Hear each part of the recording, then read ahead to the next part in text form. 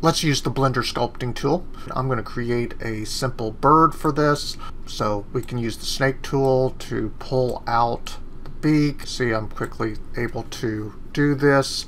It's much easier for a project like this if you are using a Wacom tablet of some type. I'm using an Intuos for this particular project. I recommend a Cintiq though. They do work a little bit better, a little more expensive, but definitely worth the process. So here you can see I'm using the snake hook to start pulling out. We can also use the snake hook to indent for the eyes a little bit.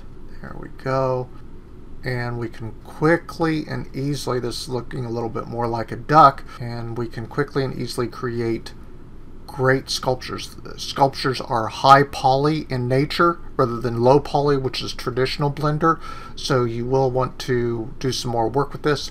But as you can see, we can quickly and easily create all kinds of really cool effects using sculpting and a lot of people are more sculptor than 3D modeler so you can create some real high poly great looking material for your projects using the Blender sculpting tool.